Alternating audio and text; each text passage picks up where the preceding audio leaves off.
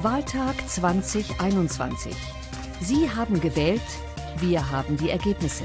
Analysen und Reaktionen. Noch eine Viertelstunde bis zur ersten Prognose. Dazu Interviews, Analysen und Diskussionen. Die Entscheidungen 2021. Das ganze Bild. Sonntag ab 16 Uhr bei Phoenix.